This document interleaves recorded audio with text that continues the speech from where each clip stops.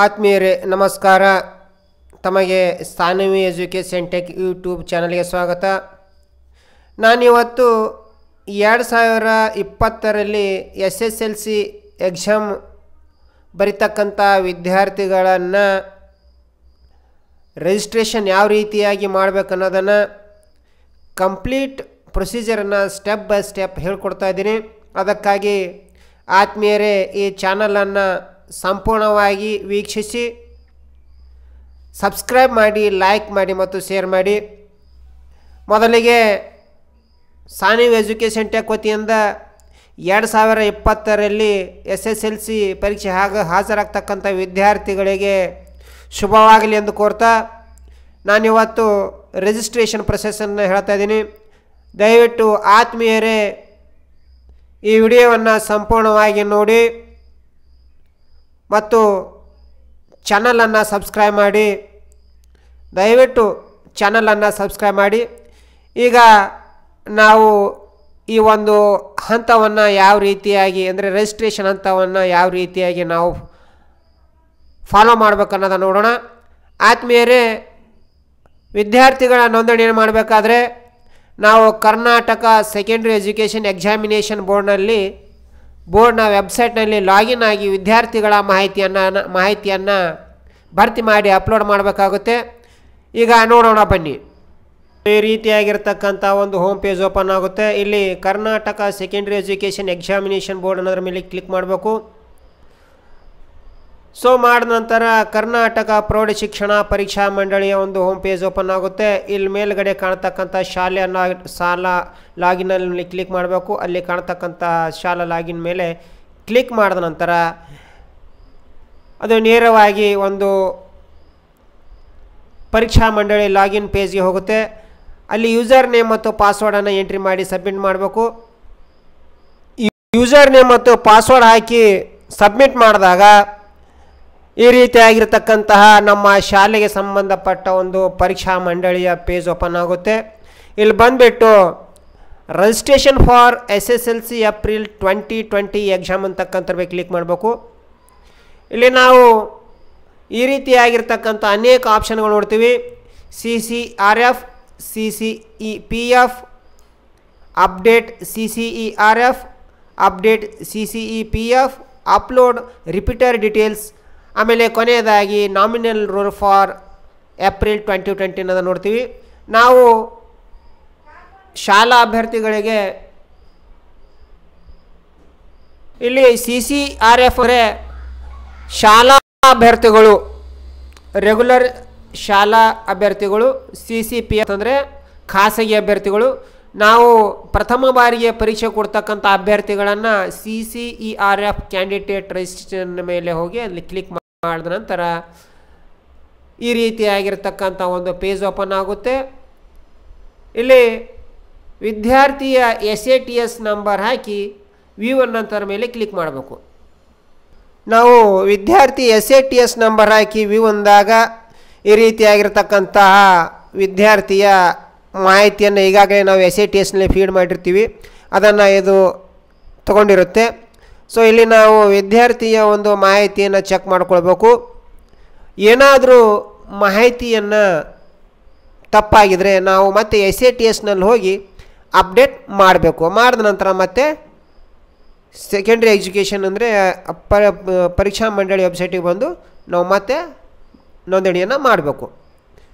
So ಈ ರೀತಿ ಆದ ನಂತರ ಆಮೇಲೆ ಆಧಾರ್ ನಂಬರ್ ಎಂಟ್ರಿ ಮಾಡಬೇಕಾಗುತ್ತೆ ಮ್ಯಾನುವಲ್ ಆಗಿ. ಆಮೇಲೆ ಇಲ್ಲಿ ಎನ್ಯುವಲ್ ಇನ್ಕಮ್ ಇಲ್ಲಿ ಎರಡು ರೀತಿಯಾಗಿರುತ್ತೆ. Below forty four thousand five hundred more than forty four thousand five hundred rupees ಅಂತಕ್ಕಂಥದ್ದು. ಇಲ್ಲಿ ಎಸ್ ಸಿ ಎಸ್ ಟಿ ಏನು ಬಂದುಬಿಟ್ಟು ಇಲ್ಲಿ ನಾಟ್ ಅಪ್ಲಿಕೇಬಲ್ ಅಂತಿರುತ್ತೆ, ಈ ರೀತಿಯಾಗಿರ್ತಕ್ಕಂಥ ಆಪ್ಷನ್ ಬರೋದಿಲ್ಲ.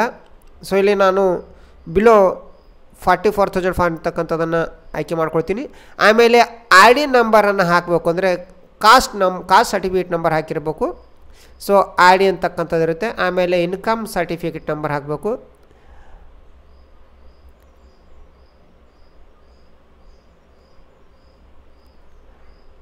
ಆಮೇಲೆ ಫಿಸಿಕಲ್ ಕಂಡೀಷನ್ ಸೊ ನಾರ್ಮಲ್ ಆಗಿದ್ದರೆ ನಾರ್ಮಲ್ ಅಂತ ಹಾಕ್ಬೇಕಿಲ್ಲ ಯಾವುದೇ ಡಿಸೆಬಿಲಿಟಿ ಅಂತಂದರೆ ಅದನ್ನು ಎಂಟ್ರಿ ಮಾಡಬೇಕು. ಸೊ ಆಮೇಲೆ ಫೀಸ್ ಇದು ಆಟೋಮೆಟಿಕ್ಕಾಗಿ ತೊಗೊಂಡ್ಬಿಡುತ್ತೆ. ಆಮೇಲೆ ಪೇರೆಂಟ್ಸ್ ಮೊಬೈಲ್ ನಂಬರ್ ಹಾಕಬೇಕು. ಆಮೇಲೆ ಲ್ಯಾಂಗ್ವೇಜನ್ನು ಸೆಲೆಕ್ಟ್ ಮಾಡ್ಕೋಬೇಕು.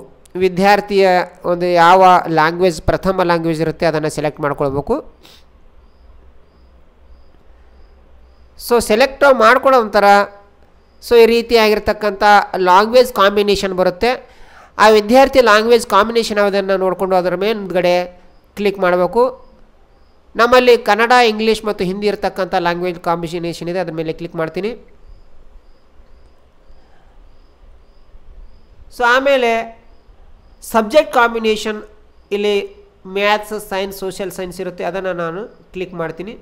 ಅದಾದ ನಂತರ ನಾವು ವಿದ್ಯಾರ್ಥಿಯ ಒಂದು ಫೋಟೋ ಮತ್ತು ಸೈನನ್ನು ಅಪ್ಲೋಡ್ ಮಾಡಬೇಕಾಗುತ್ತೆ. ಈಗಾಗಲೇ ನಾವು ಫೋಟೋ ಮತ್ತು ಸಿಗ್ನೇಚರನ್ನು ಪರೀಕ್ಷಾ ಮಂಡಳಿ ಹೇಳಿರ್ತಕ್ಕಂಥ ಒಂದು ಫಾರ್ಮೇಟ್ನಲ್ಲಿ ಜೆ ಬಿ ಸಿ ಫಾರ್ಮೇಟ್ನಲ್ಲಿ ನಾವು ರಿಸರ್ಚ್ ಮಾಡ್ಕೊಂಡು ಇಟ್ಟಿರಬೇಕು. ಸೊ, ಇಟ್ಟಿರ್ತಕ್ಕಂತಹ ಫೈಲ್ಗೆ ನಾವು ಹೋಗಬೇಕು. ಈಗ ನಾನು ಇಲ್ಲಿ ಚೂಸ್ ಮಾಡ್ಕೊಳ್ತಾ ಇದ್ದೀನಿ ಫೈಲನ್ನು. ಸೊ, ಇಲ್ಲಿ ನಾನು ವಿದ್ಯಾರ್ಥಿಯ ಒಂದು ಫೋಟೋವನ್ನು ಚೂಸ್ ಮಾಡ್ಕೊಳ್ತಾ ಇದ್ದೀನಿ.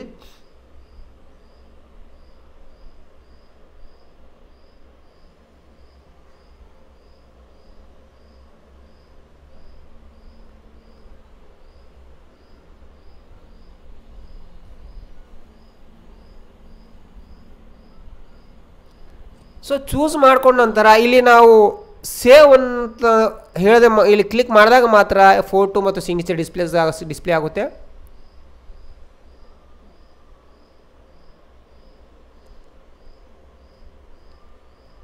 ಸೊ ಇಲ್ಲಿ ನಾವು ನೋಡ್ಬೋದು ಸೊ ಇದಾದ ನಂತರ ವಿದ್ಯಾರ್ಥಿಯ ಒಂದು ಮಾಹಿತಿಯನ್ನು ನಾವು ಪ್ರಿವ್ಯೂನಲ್ಲಿ ಹೋಗಿಕೊಂಡು ಅದನ್ನು ಪ್ರಿಂಟ್ ತೆಕ್ಕೊಂಡು ಇಟ್ಕೊಂಡಿರಬೇಕು. ಮುಂದಿನ ಯಾವುದೇ ರೀತಿಯಾಗಿರ್ತಕ್ಕಂಥ ಕರೆಕ್ಷನ್ ಮಾಡಬೇಕಾದ್ರೆ ಅದು ನಮಗೆ ಸಹಾಯ ಆಗುತ್ತೆ.